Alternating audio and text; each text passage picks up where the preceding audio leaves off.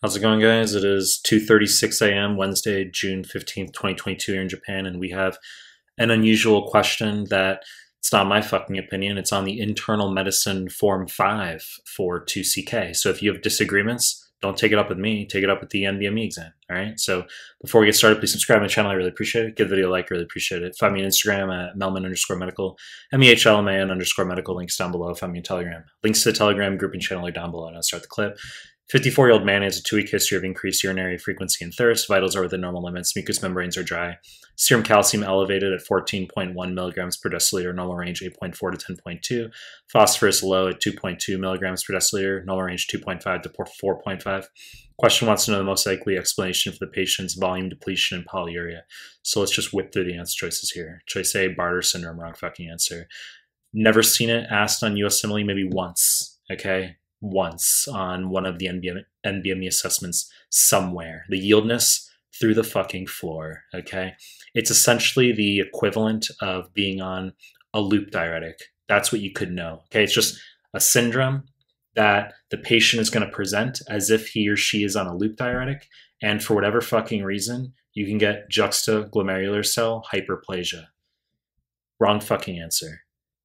Choice B, chronic pyelonephritis, wrong answer. This is almost always going to be pediatrics where you have some sort of congenital anatomic defects, defect such as posterior urethral valves, some sort of congenital uh, ureteral or urethral obstruction. Okay, so recurrent acute pyelonephritis can cause chronic pyelonephritis where we get tubular atrophy. That's asked, okay, tubular atrophy uh, for the step one exams. It's high yield uh, blunting and scarring of the renal calyces, okay, thyroidization of the kidney.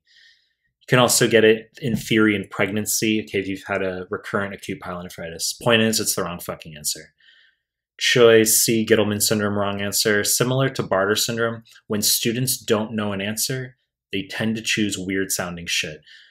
Gitelman syndrome is the uh, equivalent of being on a thiazide diuretic. Okay, so I've never seen this asked. Okay, it's just students get fanatical about fancy sounding syndromes. Wrong fucking answer.